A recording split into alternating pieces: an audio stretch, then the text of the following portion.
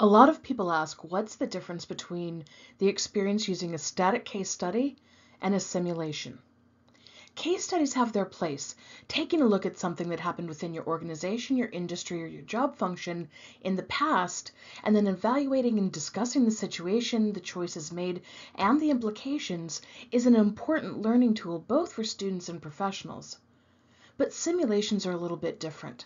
The point of a simulation is to create a situation where people are experiencing a world that is artificial, but it feels authentic enough for them to get into the storyline and participate as if they were there. Think about it like this. Case studies are a lot like old games like Donkey Kong. As a player, you got to run along and interact and react to what was happening. However, everything that happened was scripted, and your participation was just about reacting well. On the other hand, simulations are more like open world games. Games like Grand Theft Auto, Fallout, or even the World of Warcraft, where there's some rules, there are some directives that come up, but the player is free to create their own experiences, make independent decisions, and those decisions ultimately affect what happens in their gameplay. Not only are simulations generally more interesting and enjoyable, but there's also a greater potential for learning and development.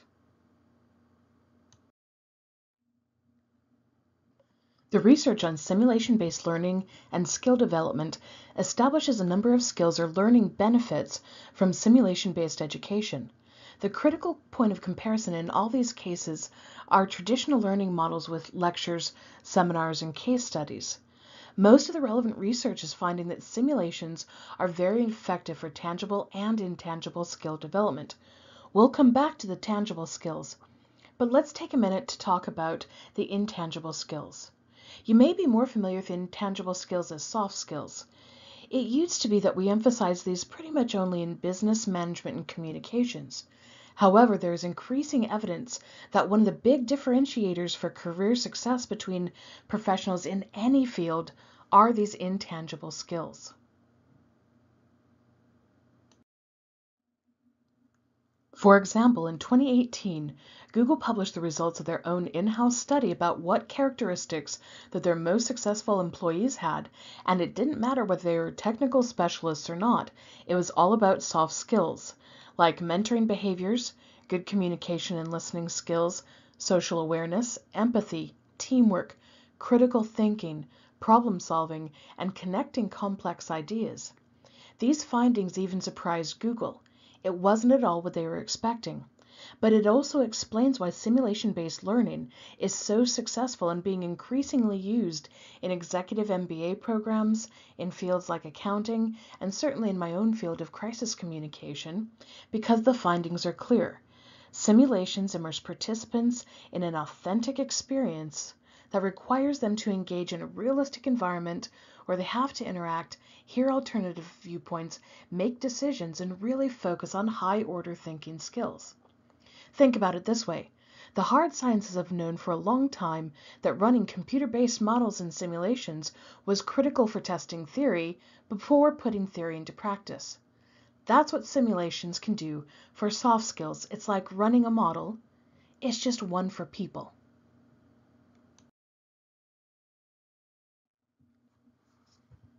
There are two cases to be made for simulation-based learning. The first is the business case. The fact of the matter is that simulations are increasingly being used as part of the interviewing process, often in day-long assessment centers. And why not? After having run simulations in my own classes and with professionals for the last several years, I can certainly tell you after a day of watching them who I'd hire and who I wouldn't, not only based on how well they actually do the job, but also based on how they would fit into a team and high-pressure environment. Second, simulations improve the hard and soft skills, and we'll get more into the theory and research on that. Third, having experience in simulations is also being reported as an emerging employability asset for new graduates.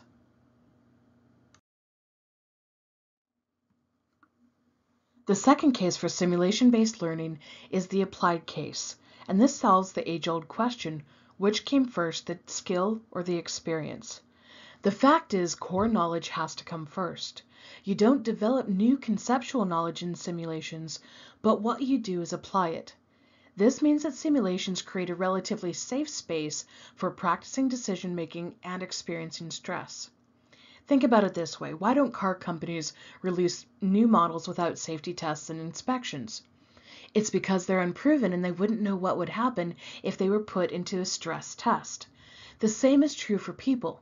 The problem is that people get caught in a catch 22 situation where they can't get experience without having experience. Simulations help to reduce this problem for employees, clients, and organizations.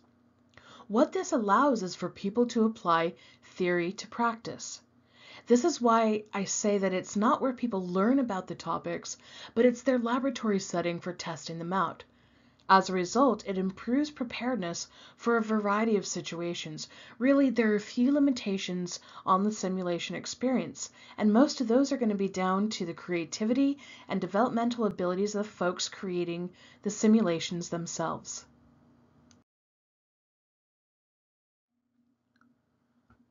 Let's take a look at why simulations are successful tools for skill development. Now, if you're interested in all the work that's grounded this approach, you can take a look at the theories informing it.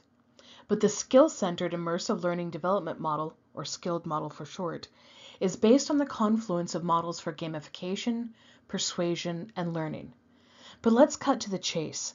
The model's core assumption is that what drives us as learners in any context are four factors that enable and sometimes inhibit our ability to acquire new skills or improve the skills we already have. I like the metaphor of a person. If we think about our skills, they're our legs. They get us from place to place, but they are just part of the rest of the person.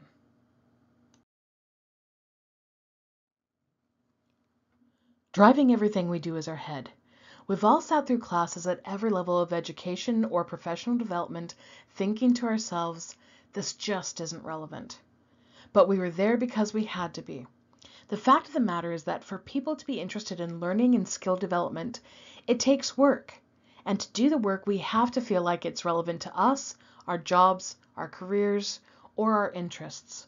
Well-crafted simulations make it easier for people to see the connections between what they do or want and the skills, theory, or ideas they learn about in the classrooms, training events, or on their own. They make it easier to get people's heads into the situation because they are immersive. Simulations tell stories, and people get into stories and storylines. It's this point about good stories that leads into the second factor, fantasy. Now, if you're a gamer, think about a game that you've really gotten into.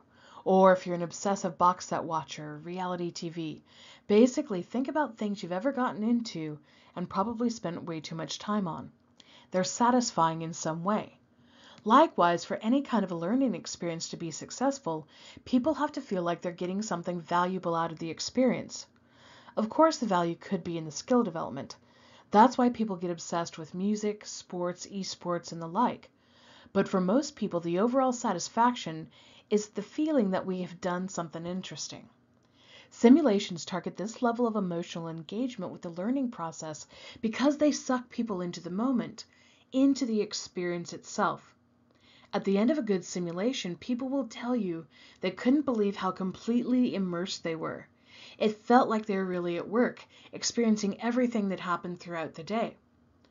And by the way, achieving this level of satisfaction is a lot easier when we have the right tools that let us connect our multimedia, complex work environments in a way that's really similar to how people work every day. That's what a good simulation platform does. It makes creating fantasy a heck of a lot easier.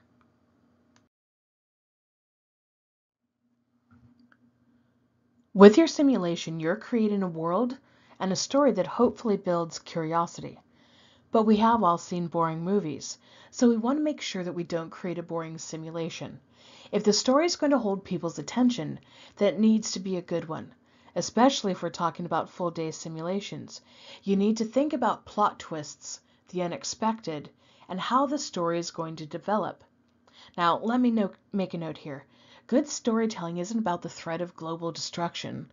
Certainly big explosions and car chases are exciting, but let's face it, most of our work lives aren't about averting global destruction.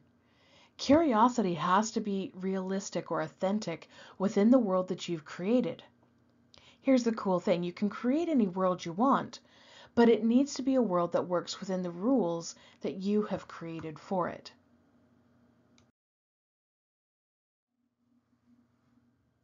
The final element of the skilled model focuses on control.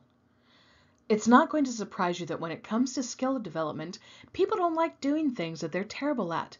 The worse they are, the more they know it's going to be a really hard road to improve. And ultimately, if they don't believe that it's going to do any good, or that becoming proficient just won't matter, guess what? They're not even going to try. This is how we protect our sense of self. If we think we're hopeless, or that doing something won't matter, why go through the pain of trying and failing? This is how we control our time, our sense of self, and how we make judgments about what we can and should be doing. This is the reason it's the heart of the model. Without ensuring that people feel like they have control, they're not going to care about new skills. What's interesting though about this is that even if people feel pretty badly about their own abilities, this can be improved through rehearsal and reinforcement. And this is what simulations really target getting people to rehearse applying new skills, getting feedback on their performance, and then practicing more and more. We know this works and, and that this control concept is based on the concept of efficacy.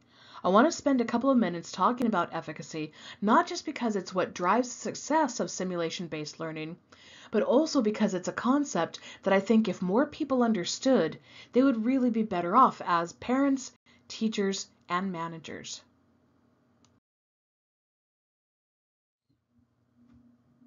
Albert Bandura is a social psychologist who was particularly interested in how people learned. He developed social cognitive theory that basically says how able people are to learn something new will be based on who they are, how they behave, and certain constraints from the world around them. But what was particularly revolutionary about Bandura's research was this concept of efficacy.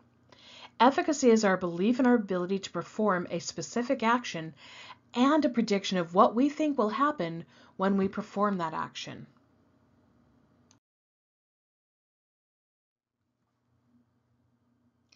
Why does efficacy matter? There are three reasons that have been found really consistently over the last 40 years or so. First, it governs our choices about behavior.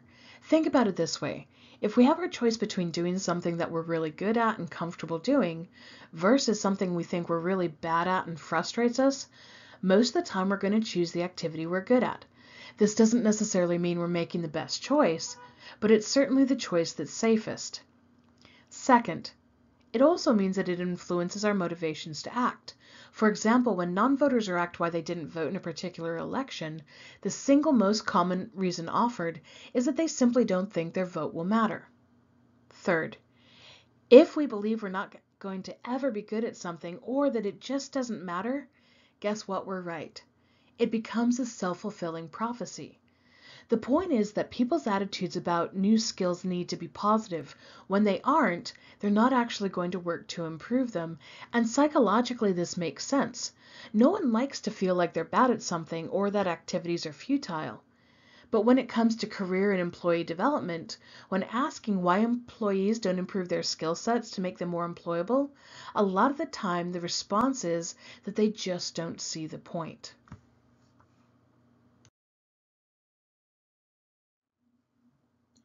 The good news is we can target efficacy attitudes and by changing them, actually not only improve people's attitudes, but their ability to develop new skills. And this is where we come back to the chicken and egg argument. How do people get experience without previous experience? Targeting efficacy solves this problem in four different ways that are applicable to simulation-based learning. First, by practicing the behaviors and skills, we just get better. This is the mastery experience. What research has found is that we don't actually have to perform these tasks in real life, we can practice. This is why any athlete will tell you that practice is vital. Of course, real game time also improves people's skills, but without practice, the athlete's not getting to the game. This is what simulations do for the rest of us who don't make our livings as professional athletes. They give us practice. Second, social modeling focuses on breaking down a desirable behavior or skill into a process. What's step one that needs to be accomplished? What's step two? And so on. This breaks down complex new skills and learning into much more digestible chunks that people feel like they can master. Simulations let us highlight and focus on either particular steps or the overall process. Third, providing practice improves people's ability to put new skills into action. Uh, most people have some level of anxiety about new skills and new situations because they want to perform well. Unfortunately, for some people, this can also be overwhelming. And research shows that with this type of practice, the type they get in a quality simulation, it actually improves their physical and emotional states so they can better focus on the behaviors they're trying to enact. Finally, feedback is necessary and it's a part of the simulation experience. When we create learning experiences that provide encouragement, even when people make mistakes, then people feel much more confident about enacting new behaviors.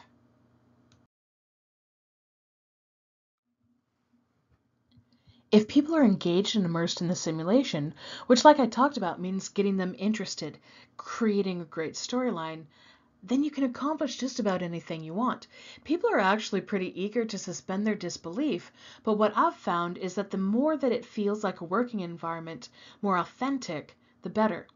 This is why any good simulation platform needs to look and feel much like it would be in a real organizational environment where people have access to emails, to the types of folders and documents that they would typically have in a workday. And this is what lets us create a great storyline.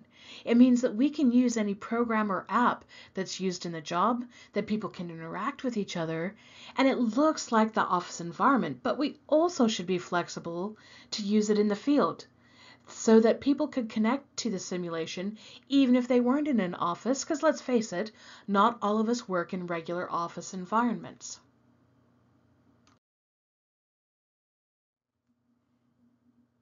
There is one caveat though. In my research on simulations, what I've found is that the experience works a lot better when people feel good about the organization itself. So if you're doing this within your own organization's environment, it will be far more effective if you have a great corporate culture or people see the simulation environment as a way to build a great corporate culture. If you're creating a simulation where the organization is flexible, then the top tip is to create or use a socially responsible and likable organization. Since we're talking about creating a great simulation experience, what I've found with my own research on simulation effectiveness is that what people assume going into a simulation experience is often very different and not nearly as good as what they actually get out of the experience. So let's take a look at what participants have found to be the most challenging aspects of simulations. Going in, they're often worried about bad team dynamics. As a matter of fact, this occupies most of their stress and apprehension before a simulation. What they find coming out is that by working with others to solve a collective problem isn't that challenging. What simulations do is improve participants' attitudes about team collaborations. What also seems to happen during their first simulation experience is the participants feel fairly overwhelmed by the pressure of the new skills and the experience, and that's not something they anticipate going into the simulation. Yet with each successive simulation experience, they become more confident in handling that pressure. But then what they also find is that they underestimate the amount of information that they need to make good choices or key recommendations in pressure situations. So the more pressure they feel, the more times they do this, then the more effectively we can begin to introduce strategies to them for making better decisions with the simulation experiences themselves.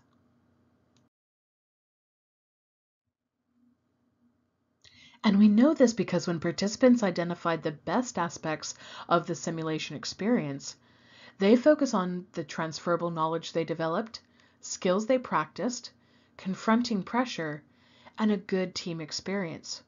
What's telling to me about the value and the power of the simulation experience is that few, if any, participants anticipate having an interesting professional experience going into a simulation, yet a third of them say that that was one of the best aspects of the experience coming out of the simulation. Over the years, I've collected a lot of reflections on the simulation experience, but there are a couple of key themes that come up in the comments that participants make. The first one is about the importance of transferable skills that they feel they get to practice. This is coming from participants at all career levels, from new professionals all the way up through C level executives. The second consistent reflection focuses on the fact that participants get to practice their skills in pressurized contexts that feel real. When we come back to this concept of efficacy that I talked about, the control part of the skilled model, what we see in the simulation reports, both the quantitative and the qualitative data, is a consistent story that simulations effectively target people's belief in their ability to enact both hard and soft skills. It also explains why more and more organizations are beginning to adopt simulation-based approaches to training and education. It's an effective tool for people after they've learned a new skill, but haven't had the chance to prove it.